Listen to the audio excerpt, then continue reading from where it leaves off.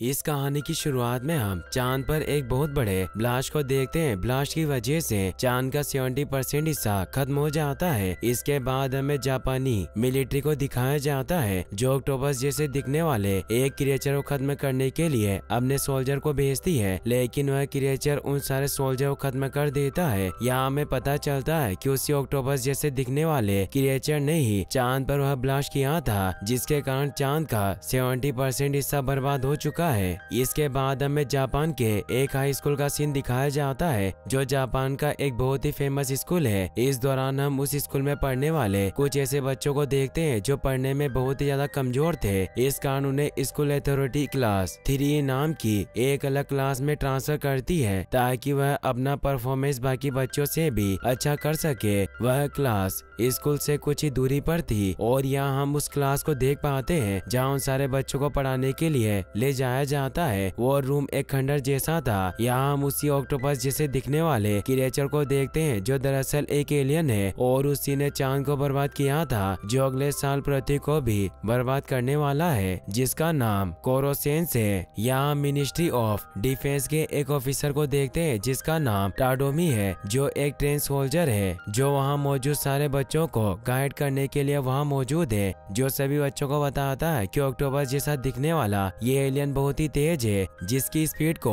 कोई मैच नहीं कर सकता। इस दौरान टाडोमी उस एलियन पर बहुत ही तेज़ी से अटैक करने की कोशिश करता है, लेकिन कोरोसियस किसी तरह से टाडोमी के भी इन अटैक से बच जाता है, क्योंकि वह बहुत ही ज़्यादा तेज था। इस दौरान उन सभी बच्चों को पता चलता है कि अगर कोरोसियस की बॉडी का कोई बॉडी पार्ट्स उसकी बॉडी से काट दिया जाए तो इस दौरान वह बहुत ही ज़्यादा कमज़ोर हो जाता है। और अगर उन स्टूडेंट ने इस एलियन को खत्म कर दिया तो उन्हें एक बहुत बहुत बड़ा इनाम दिया जाएगा। इसी बीच कोरोसियस उन सभी बच्चों को बताता है कि अगर उन्होंने उसे एक साल के अंदर खत्म कर दिया तो वह इस पृथ्वी को बिल्कुल भी नुकसान नहीं पहुंचाएगा। इस दौरान वह बताता है कि उसने जापानी गवर्नमेंट के साथ एक एग्रीमेंट किया है और इस एग्रीमेंट के दौरान उन बच्चों को एक साल मिलेगा उसे खत्म करने के लिए। अगर इस बीच उन्होंने उसको खत्म कर दिया तो वह वापस अपनी दुनिया में चला जाएगा।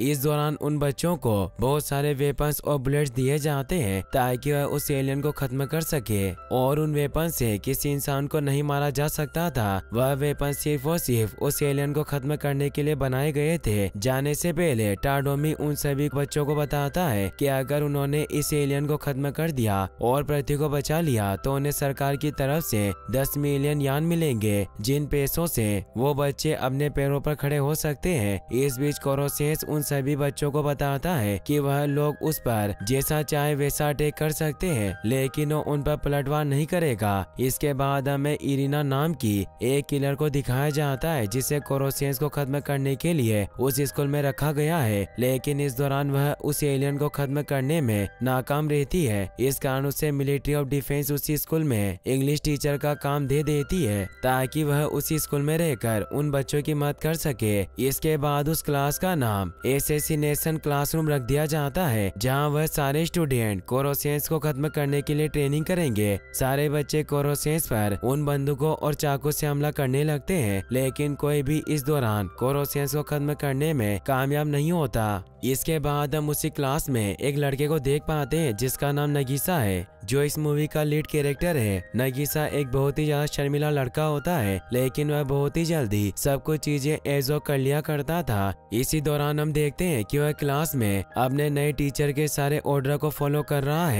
और उनकी सारी बातों को वह अपनी डायरी में नोट कर रहा है क्योंकि वह बहुत अच्छा स्टूडेंट था, जो सेलियन को खत्म करने के लिए एक बेहतर मौका ढूंढ रहा होता है। इसके बाद हम क्लास के ही कुछ शरारती बच्चों को देखते हैं, जो नगीसा का इस्तेमाल करना चाहते थे ताकि वह कोरोसेंस को खत्म कर सके। इसके बाद वो सारे बच्चे एक प्लान के तहत नगीसा को कोरोसेंस को खत्म करने के लिए उसके पास भेजते हैं। इस दौरान नगीसा अपना असाइनमेंट कोरोसेंस के पास लेकर जाता है और नगीसा अपने हाथों में चाकू लिए। अपने उस टीचर की तरफ़ आगे बढ़ता है, लेकिन कोरोसेंस उसके हाथों में उस चाकू को देख लेता है और किसी तरह से वह उस चाकू को उससे छीन लेता है। इस दौरान नगीसा कोरोसेंस को गले लगा लेता है ताकि वह उसे इस हरकत के लिए माफ़ कर दे, लेकिन ऐसा नहीं था। नगीसा कोरोसियस को उस चाकू से खत्म करने नहीं आया था, बल्कि उसके पास प्लान भी मौजूद था और उसके पास एक बोम था, जिसकी मदद से वो उसे खत्म करना चाहता था। इससे पहले कि वह बम ब्लास्ट होता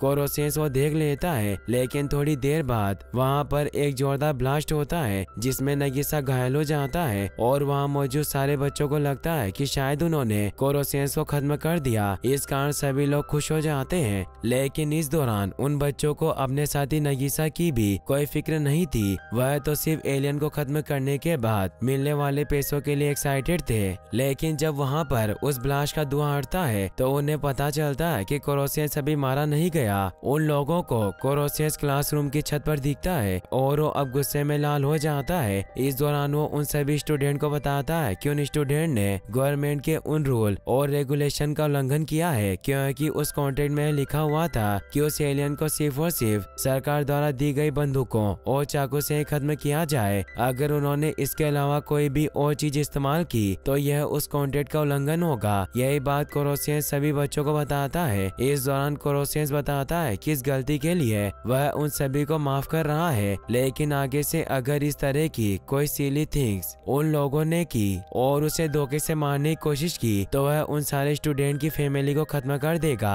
यह बात जानने के बाद सारे स्टूडेंट बुरी तरह से डर जाते हैं, क्योंकि कोरोसियस बहुत ही ज़्यादा गुस्से में था। उसका चेहरा बिल्कुल लाल पड़ चुका था। कोरोसियस के सारे एक्सप्रेशन उसके चेहरे पर दिखाई देते हैं। अगर वह गुस्सा होता है तो उसका चेहरा लाल हो जाता है। इसके बाद हम कोरोसियस को देख पाते हैं, जो उस क्लासरूम के बाहर बैठकर किताबें पढ़ रहा होता है। इस दौरान वह स्टूडेंट्स उसको एक बड़े से जाल में फंसा लेते हैं, ताकि वह उसको खत्म कर सके। स्टूडेंट्स उसको जाल में फंसाने के बाद उस पर अंधाधुन गोलियाँ चलाने लगते हैं, लेकिन हम देखते हैं कि वह बहुत ही तेज है। उसकी स्पीड को कोई भी कैच नहीं कर पा रहा था। इस कारण गोलियाँ चला रहे सारे स्टूडेंट उसको खत्म करने में इस बार भी नाकामयाब रहते हैं। इसके बाद हमें कर्मा नाम के एक स्टूडेंट को दिखाया जाता है, जिसे उसी क्लास थ्री ई में ट्रांसफ़र कर दिया गया है। दरअसल, कर्मा एक बहुत ही ज़्यादा इंटेलिजेंट स्टूडेंट है, लेकिन उसने स्कूल की मेन क्लास में झगड़ा किया था। इस कारण उसे इस क्लास थ्री में ट्रांसफ़र कर दिया गया है, ताकि उसे उस झगड़े की सजा दी जा सके। वो वहाँ मौजूद सारे स्टूडेंट्स को अपना नाम बताता है और उनसे फ्रेंडशिप करने लगता है। इस दौरान कर्मा कोरोसियस के पास भी जाता है, जो उस क्लास थ्री का टीचर है। कर्मा उससे हाथ मिलाता है जैसे ही कोरोसियस कर्मा से हाथ मिलाने लगता है, एलियन के हाथों में दर्द होने लगता है। इस दौरान कर्मा कोरोसियस को बताता है कि उसके हाथों में कुछ ब्लेड्स लगी हुई है। इस कारण उसे इतना दर्द हुआ। यहाँ सारे स्टूडेंट हैरान होते हैं क्योंकि कर्मा एक अकेला ही ऐसा स्टूडेंट था जिसने कोरोसियस को हट किया था, क्योंकि इससे पहले उस पर किए गए सारे अटैक पूरी तरह से असफल हुए थे। लेकिन कर्मा जो बहुत ही ज़्यादा इंटेलिजेंट था, अब वह उस क्लास थ्री में आ चुका है और उन सारे स्टूडेंट को लगता है कि कर्मा कोरोसियस को खत्म करने में उनकी बहुत मदद करेगा। इसके बाद कर्मा कोरोसियस को खत्म करने के लिए तरह तरह की तरकीबें यूज़ करता है ताकि वह कोरोसियस को खत्म कर सके और इस प्रति को बचाने में उन लोगों की मदद कर सके। लेकिन हम देखते हैं कि कर्मा भी उसे खत्म करने में और भी सभी स्टूडेंट की तरह नाकामयाब होता है। वह भी उसको खत्म नहीं कर पाता।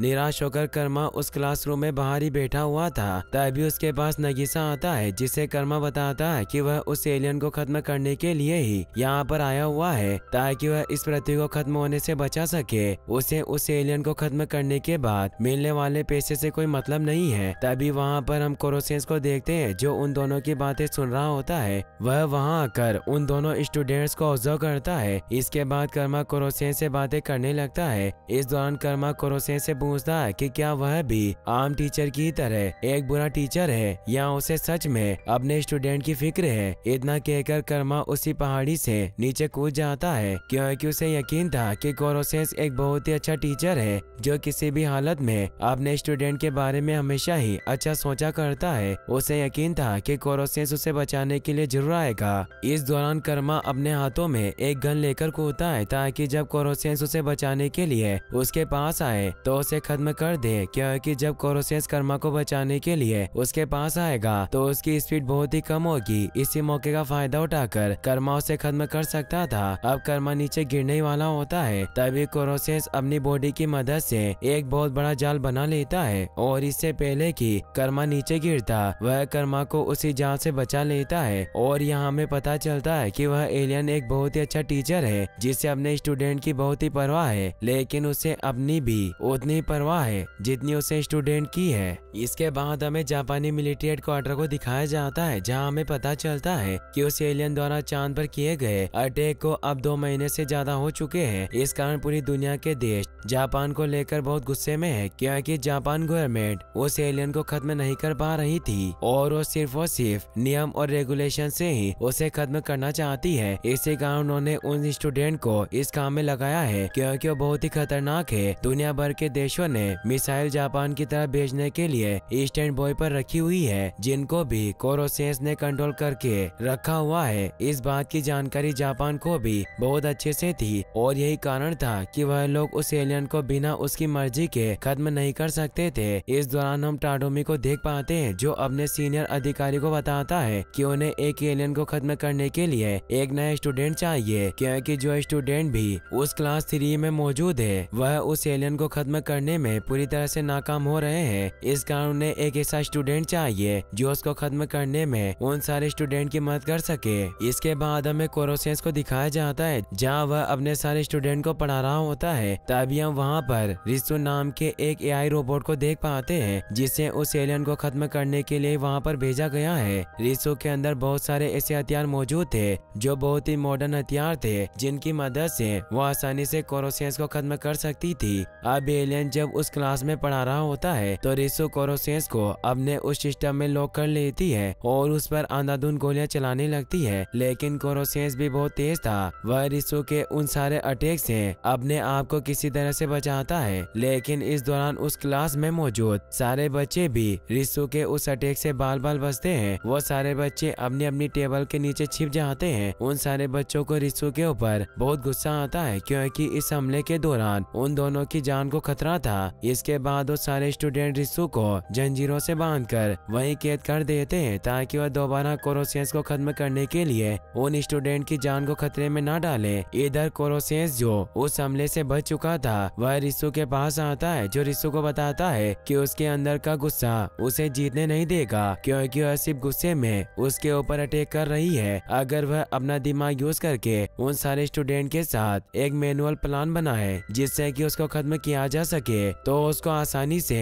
खत्म कर सकती है। अगले ही दिन हम क्लास में मौजूद सभी स्टूडेंट को देखते हैं जिनके मोबाइल पर एक या ऐप डाउनलोड हो जाता है और यह रिसु का ही ऐप है, जिसने उसे उन सारे स्टूडेंट के मोबाइल में ऐड कर दिया था। वह चाहती थी कि सारे स्टूडेंट्स उससे कनेक्टेड रहे और वो सभी लोग मिलकर कोरोसियस को खत्म करने में रिसु की मदद करें। इसके बाद हम इटोना नाम के एक छोटे से लड़के को देखते हैं, जो वहीं पर छत तोड़कर आ चुका था, जिसके साथ उसका ट्रेनर भी मौजूद होता है। वह सभी स्टूडेंट को बताता है कि वह कोरोसियस का सगा भाई है और वह उससे ज़्यादा ताकतवर है, जो कोरोसियस को एक ही झटके में खत्म कर सकता है। यहाँ मिटोना की बॉडी से निकलते हुए कुछ टेंटिकल्स को देख पाते हैं, जैसे कि कोरोसियस की बॉडी में मौजूद थे यहाँ हम समझ पाते हैं कि कहीं ना कहीं एटोना कोरोसियस का कुछ न कुछ तो लगता था, क्योंकि उसके भी उसी की तरह टेंटिकल्स थे। एटोना अपने आप को सबसे ज़्यादा बेहतर बताता है। इस दौरान वो कोरोसियस को चैलेंज करता है और उससे फाइट करने के लिए आगे आता है। वहाँ मौजूद इटोना का ट्रेनर सभी को बताता है कि इटोना की स्पीड कोरोसियस से भी ज़्यादा तेज है। अब यह बात सुनकर कोरोसियस को बहुत ज़्यादा गुस्सा आ जाता है, लेकिन उसे भी कहीं न कहीं लग रहा था कि टोना उसका कोई रिलेटिव है। लेकिन अब वह बहुत गुस्से में था, क्योंकि टोना बार बार उससे बेहतर अपने आप को बता रहा था। इस कारण वो उससे लड़ने लगता है। वो इटोना को छोटा बच्चा समझकर अंडर एस्टिमेट कर देता है। इस फाइट के दौरान इटोना कोरोसियस के ऊपर भारी पड़ने लगता है। लेकिन अब कोरोसियस बहुत ज़्यादा गुस्से में आ जाता है, जो उसे एक ही झटके में वहाँ से दूर स्कूल से बाहर फेंक देता है। और इस तरह से इटोना भी उस एलियन को खत्म करने में बिल्कुल ही नाकामयाब होता है। इस कारण उसका ट्रेनर उसे वहाँ से लेकर चला जाता है। इधर हम सारे स्टूडेंट्स को देखते हैं, जो अपने कोरोसेस टीचर की इस जीत को देखकर बहुत ज़्यादा खुश हैं। यहाँ हम देख पाते हैं कि कोरोसेस और उसके उन स्टूडेंट के बीच में एक अलग ही बॉन्डिंग बन चुकी है और उनके बीच एक टीचर और स्टूडेंट वाला रिश्ता भी अब कायम हो चुका है। इसी कारण वह इटोना से जीतने के बाद कोरोसियस को देखकर बहुत खुश थे। इसके बाद हमें उसी स्कूल में एक दूसरे सोल्जर को दिखाया जाता है, जिसका नाम अकीरा है, जो टाडोमी के बदले वहाँ पर उन बच्चों को उस एलियन को खत्म करने के लिए ट्रेनिंग देने आया हुआ था, जो बहुत ही ज़्यादा क्रूर और घमंडी था, जिसे अपनी ताकत पर बहुत ज़्यादा घमंड था। वह इस ट्रेनिंग के दौरान कई बच्चों को नुकसान पहुंचाता है। जो बच्चे उस ट्रेनिंग में बहुत कमज़ोर थे, वह उन्हीं को टारगेट करके उनको कमज़ोर साबित करने में लग जाता है। इस दौरान हम एक लड़की को देख पाते हैं, जो उसी ट्रेनिंग का हिस्सा थी, जो उस ट्रेनिंग को करते करते बुरी तरह से थक चुकी थी। इस कारण फकीरा अपनी उस स्टूडेंट को धमकाने लगता है और उसे बताता है कि वह बहुत ज़्यादा कमज़ोर है, जो उस एलियन से सामना नहीं कर सकती। वो उस लड़की को मारने लगता है, लेकिन तभी वहाँ पर टाडोमी आ जाता है, जो अकीरा को ऐसा करने से रोकता है। अकीरा जो घमंडी था, जिसे अपनी ताकत पर बहुत नाश था, वह टाडोमी को कहता है कि अगर इन स्टूडेंट्स में से किसी ने भी उसे कंट्रोल कर लिया तो वह यहाँ से इस ट्रेनिंग को छोड़कर चला जाएगा। टाडोमी को अपने उन सारे स्टूडेंट पर यकीन था कि वह किसी तरह अकीरा को कंट्रोल कर लेंगे। इस कारण वह उसके उस चैलेंज को एक्सेप्ट कर लेता है। इसके बाद हम नगीसा को देख पाते हैं, जो अकीरा को कंट्रोल करने के लिए उसकी तरफ़ आगे बढ़ता है, क्योंकि नगीसा ही एक ऐसा बंदा था जो देखने में बहुत ही ज़्यादा कमज़ोर था, लेकिन अंदर से बहुत ही इंटेलिजेंट था, जो किसी भी हाल में अपने सामने वाले अपोनेंट को हरा सकता था। यही कारण था कि टाडोमी ने अकीरा को कंट्रोल करने के लिए उसको चुना था। नगीसा अकीरा को कंट्रोल करने के लिए आगे बढ़ता है। वो उसके सामने पहुँचने पर एक प्यारी सी स्माइल देकर अकीरा को डिस्ट्रेक्ट करता है और मौका देकर अकीरा के ऊपर चाकू अड़ा देता है, जिस कारण अकीरा उसके कंट्रोल में आ जाता है, इसके बाद डील के मुताबिक अकीरा को वहाँ से जाना पड़ता है। ऐसे ही कई दिन गुजरते हैं और कोरोसेंस उन सभी स्टूडेंट को पढ़ा रहा होता है, लेकिन एक दिन बारिश होने के कारण कोरोसेंस की बॉडी फूलने लगती है और वह कमज़ोर होने लगता है। इस बात को नगीसा भी नोटिस करता है और वह समझ जाता है कि कोरोसेंस को पानी से एलर्जी है। इसके बाद कोरोसेंस उन सारे स्टूडेंट को बताता है कि अगर वह सभी लोग आने वाले फाइनल एग्ज़ाम में फ़र्स्ट डिवीज़न रैंक हासिल करेंगे तो वह उन्हें खुद को खत्म करने का मौका देगा और जो भी फ़र्स्ट डिवीज़न हासिल करेगा, वो उन स्टूडेंट को अपने उन खतरनाक टेंटिकल्स को काटने का मौका देगा ताकि वह कमज़ोर पड़ जाए और वह स्टूडेंट उसको बड़ी आसानी से खत्म कर दे। और इस तरह से सारे बच्चे बहुत खुश हो जाते हैं, क्योंकि उन्हें लगता है कि वह लोग आसानी से फ़र्स्ट रैंक हासिल कर लेंगे और उस एलियन के उन खतरनाक टेंटिकल्स को खत्म करके उस एलियन को कमज़ोर कर देंगे और उसे आसानी से मार देंगे। वो उस प्रतीक को भी बचाकर दो दस बिलियन यान भी जीत जाएँगे। इसी तरह से और कुछ दिन गुजरते हैं और सभी स्टूडेंट बहुत अच्छे से पढ़ाई करते हैं। इस दौरान कोरोसेस भी उन बच्चों की हर एक मदद करता है। वह उन्हें तरह तरह की चीज़ें सिखाता है और उन्हें वह अंतरिक्ष की सैर भी करवाता है। फाइनल एग्ज़ाम होते हैं और कुछ ही दिनों बाद कोरोसेंस सभी स्टूडेंट को उनका रिज़ल्ट बताता है। इस दौरान कोरोसेंस बताता है कि सिक्स स्टूडेंट ने फ़र्स्ट डिवीज़न हासिल किया है, जिन्हें उसके टेंटिकल काटने का मौका दिया जाएगा। इसके बाद उस एलियन को सभी बच्चे एक जगह बांधकर उसके टेंटिकल पर अटैक करने के लिए तैयार थे। इस दौरान नगीसा जी से पता चल चुका था कि कोरोसेंस को पानी से एलर्जी है। वह अपने कुछ स्टूडेंट साथियों के साथ मिलकर उस पर पानी फेंकने लगते हैं, ताकि वो और ज़्यादा कमज़ोर पड़ जाए। अब स्टूडेंट उसके ऊपर गन से फायर करने लगते हैं, लेकिन तभी वहाँ पर एक बहुत बड़ा धमाका होता है, जिससे वहाँ मौजूद सारे स्टूडेंट्स बेहोश होकर वहीं गिर जाते हैं। तभी वह लोग नोटिस करते हैं कि कोरोसेंस एक ट्रांसपेरेंट बॉल के अंदर जा चुका है और उसका साइज़ भी बहुत छोटा हो चुका है। उन्हें कुछ भी समझ नहीं आता। इसके बाद हम वहाँ पर अकीरा को दोबारा देख पाते हैं,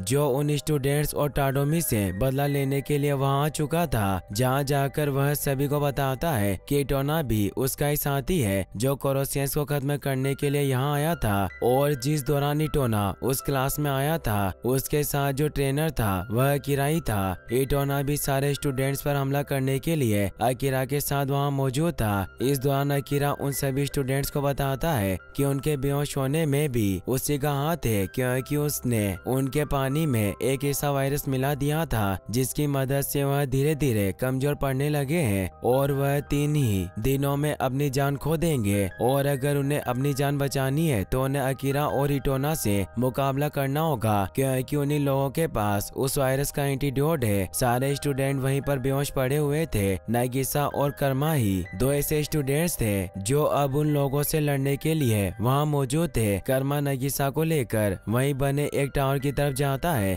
इटोना भी उन लोगों का पीछा करते हुए उसी टावर पर आ जाता है। दरअसल नगीसा और कर्मा इटोना को लेकर उस टावर पर इस कारण आए थे क्योंकि बारिश होने वाली थी और तभी बारिश होती है, जिस कारण इटोना भी की तरह ही कमज़ोर पड़ने लगता है। इसी बात का फ़ायदा उठाकर नगीसा उसके सारे टेंटिकल्स काट देता है, जिससे भी वो बहुत ज़्यादा कमज़ोर हो जाता है। इसके बाद वह लोग उस टावर से नीचे आते हैं, जहाँ पर अकीरा उन दोनों को बताता है कि वह उन सारे स्टूडेंट्स को अभी भी बचा सकते हैं। अगर वह लोग कोरोसेंस के बचे हुए उस बॉडी पार्ट्स को उसके हवाले कर दें, जो उस बॉल के अंदर मौजूद था, इसके बाद वो उन सभी बच्चों को एंटीडोट दे देगा, जिससे उनकी जान बच सकती थी, लेकिन तभी हम वहाँ पर उस स्कूल के सारे स्टूडेंट्स को देख पाते हैं, जो वहाँ आकर अकीरा को बताते हैं कि उन्हें उस वायरस के एंटीडोट की ज़रूरत बिल्कुल भी नहीं है, क्योंकि उन्होंने उस वायरस का एंटीडोट पहले ही बना लिया था। वो अकीरा को पकड़कर बहुत ही ज़्यादा पीटने और मारने लगते हैं और उसे अपने आप से गिन आने लगती है, क्योंकि वह उन सारे स्टूडेंट से हार चुका था। वह सारे बच्चे उसका मज़ाक बनाने लगते हैं। इसके बाद वहाँ पर जापानी आर्मी आ जाती है, जो सारे बच्चों को लेकर अपने साथ चली जाती है, जिन्होंने कोरोसियंस को लगभग खत्म कर दिया था, जो अब एक बॉल के अंदर कैद था। जापानी आर्मी के कुछ अधिकारी सारे स्टूडेंट्स को धन्यवाद कहते हैं, क्योंकि उन्हीं के कारण पृथ्वी अब पूरी तरह से सेफ़ थी। इसके बाद जापानी आर्मी सभी स्टूडेंट को बताती है कि जो बचा हुआ उस एलियन का हिस्सा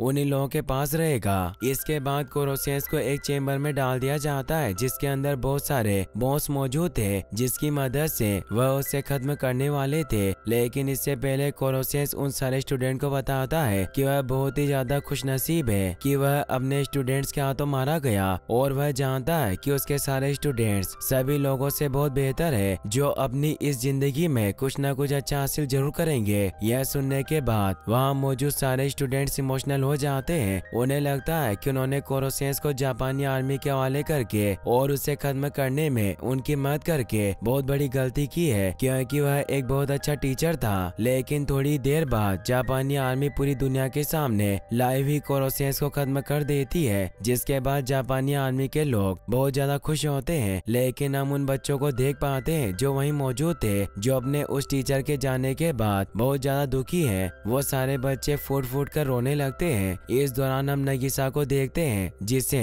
सबसे ज़्यादा कोरोसेंस के मरने का दुख था। तभी जब वो रो रहा था, वहाँ पर कोरोसेंस का एक हाथ पीछे से आता है, जो उसे आँसू पहुँचने के लिए एक रुमाल देता है, जिसे देखकर वहाँ मौजूद उसके सारे स्टूडेंट बहुत खुश हो जाते हैं। इसके बाद जापानी आर्मी डिसाइड करती है कि कोरोसेंस को खत्म नहीं किया जा सकता। इस कारण उसे एक बार फिर से क्लास थ्री का टीचर बना देते हैं और वहाँ पर वही सारे बच्चे पढ़ने लगते हैं, जो उस टीचर के बहुत ज़्यादा करीब आ चुके थे। इसके बाद हम उसी छोटे से बच्चे इटोना को भी देख पाते हैं, जो आने के बाद अब उस टीचर का स्टूडेंट बनने के लिए और उसे पढ़ने के लिए वहाँ आ चुका था। और इसी के साथ इस मूवी की हैप्पी एंडिंग हो जाती है। गाइस अगर आपको वीडियो पसंद आई हो तो इस वीडियो को लाइक करने के साथ साथ चैनल को सब्सक्राइब ज़रूर कर ले। Thanks for watching